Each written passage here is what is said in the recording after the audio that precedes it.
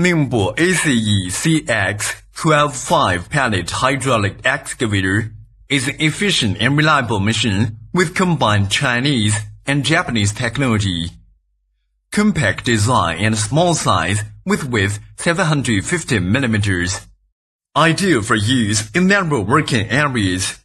In addition, it is also equipped with Kubota stage VD722 EF11 10 2 PS diesel engine engine, which has excellent power and reliability and can help you complete various excavation tasks efficiently.